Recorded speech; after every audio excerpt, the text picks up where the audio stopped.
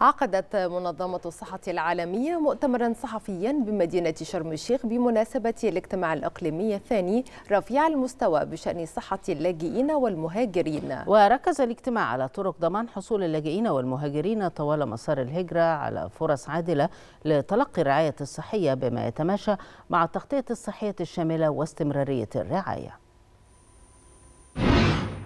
طبعا خلال اليومين هذيلا يعني الحمد لله تم لقاء استضافته منظمة الصحة العالمية لإقليم شرق المتوسط في جمهورية مصر العربية بمشاركة إقليم أوروبا وكذلك إقليم إفريقيا للوقوف على مختلف الجوانب المتعلقة بصحة المهاجرين واللاجئين سواء من الدول المصدر أو مناطق العبور أو الدول التي يستقر بها.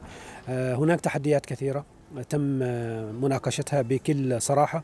هناك خطط استراتيجية يعني تم وضعها سابقا لكن يتم مراجعتها من أجل تكييفها بما يخدم تقديم خدمات صحية لهذه الفئة المعرضة للكثير من المخاطر.